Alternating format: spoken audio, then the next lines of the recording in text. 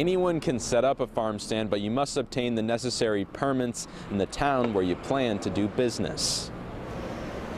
If you want fresh, locally grown produce, you can stop at a roadside farm stand. Well, it's very important, especially people like myself who can't have a big garden, so that we can enjoy the freshness of these wonderful vegetables all summer long. Whether it's corn on the cob or summer squash, the produce is almost guaranteed fresh. Every single day we pick different items um, depending on what's ripe or, or ready to be harvested at that time.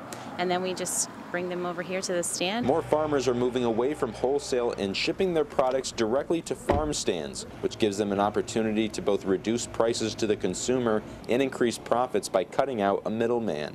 Here in Sunderland, there are many different farm stands people can go to to get their fresh local produce. But in order to set a farm stand up, you have to go through the town.